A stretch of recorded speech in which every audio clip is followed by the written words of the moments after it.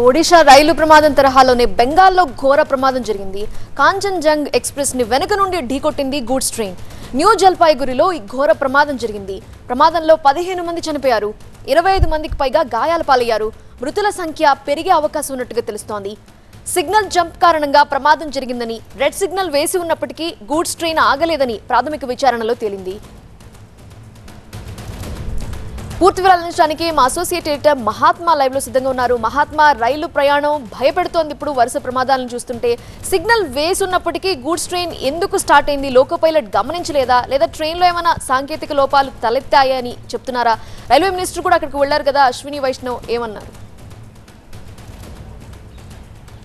Yeah కేంద్ర railway మంత్రి కొద్దిసేపటి క్రితమే ఘటనా స్థలానికి చేరుకుని ఈ ప్రమాదం జరిగిన తీరును పరిశీలిస్తున్నారు. ప్రాథమికంగా రైల్వే అధికారులు అందించిన సమాచారం ప్రకారం అయితే వెనక నుంచి వచ్చిన గూడ్స్ రైలు ఢీకొట్టడం వల్ల ఈ ప్రమాదం జరిగింది. ఆ గూడ్స్ రైలు నడుపుతున్న లోకో పైలట్ రెడ్ సిగ్నల్ వేసి ఉన్నా దాన్ని పట్టించుకోకుండా ఆ రైల్ని ముందుకు కదపడం ముందుకు తీసుకెళ్ళడం వేగంగా ముందుకు తీసుకెళ్ళడం కారణంగానే ప్రమాదం సంభవించిందన్నది వారు చెప్తున్నారు. అయితే లోకో పైలట్ ఎందుకు ఆ రెగ్- రెడ్ సిగ్నల్ గమనించలేదు? అది హ్యూమన్ ఎర్రరా?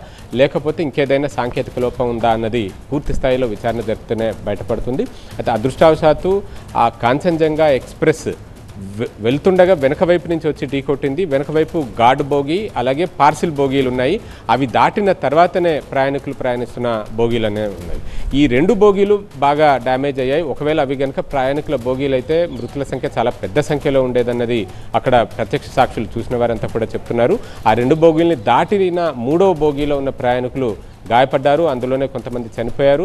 అలాగే లోకో పైలట్ ఈ గూడ్స్ ట్రైన్ని నడుపుతున్న లోకో పైలట్ ఈ ప్రమాదంలో చనిపోయినట్టుగా చెప్తున్నారు. మొత్తం పదిహేను మంది చనిపోగా అందులో ముగ్గురు రైల్వే ఉద్యోగులే ఉన్నారు. అంటే కాంచన్జంగా ఎక్స్ప్రెస్ గార్డ్ బోగిలో ఉన్న ఉద్యోగులను అలాగే ఈ గూడ్స్ ట్రైన్లో ఉన్న లోకో పైలట్ ఇంకా ఇతర సిబ్బంది. మొత్తం ముగ్గురు ఈ ప్రమాదంలో రైల్వే వైపు నుంచి చనిపోగా మిగతా పన్నెండు మంది వరకు ప్రయాణికులు ఉన్నారు. ఇంకా చాలామంది గాయపడ్డారు. గాయపడ్డ వారిని అక్కడున్న ఒక మెడికల్ కాలేజ్ హాస్పిటల్కి న్యూ జల్పాయిగురిలో ఉన్న మెడికల్ కాలేజ్ హాస్పిటల్కి తరలించి మెరుగైన చికిత్స అందించే ప్రయత్నం చేస్తున్నామని అధికారులు చెప్తున్నారు. ఈ సహాయ చర్యల్లో రాష్ట్ర ప్రభుత్వము అలాగే కేంద్ర ప్రభుత్వానికి సంబంధించిన ఎన్డీఆర్ఎఫ్ బృందాలు అందరూ కూడా పాల్గొన్నాయి.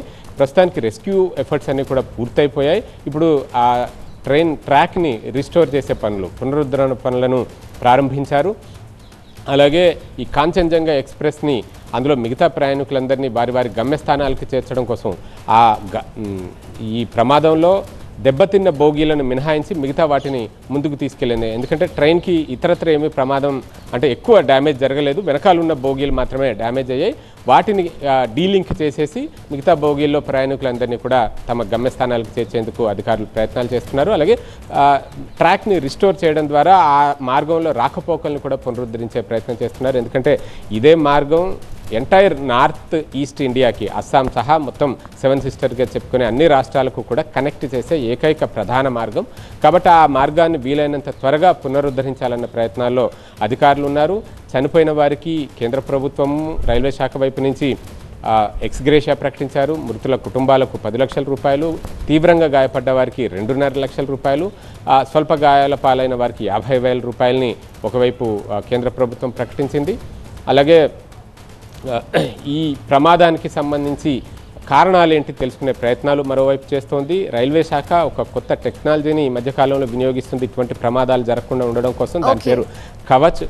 దాని ప్రకారం ఒకే ట్రాక్ మీద ఎదురు బొదురుగా రైలు వచ్చినా ఒకే ట్రాక్ మీద రైలు ప్రయాణించేటప్పుడైనా ఆటోమేటిక్గా బ్రేక్ అప్లై కావాల్సి ఉంటుంది. కానీ ఆ సిస్టమ్ ఇందులో ఉందా లేదా అది గూడ్స్ బో గూడ్స్ ట్రైన్కి అప్లై చేశారా లేదా ఎందుకు ఇది ఫెయిల్ అయింది ఇవన్నీ కూడా పూర్తి స్థాయి విచారణలోనే బయటపడే అవకాశం ఉంది. రైట్ మహాత్మా.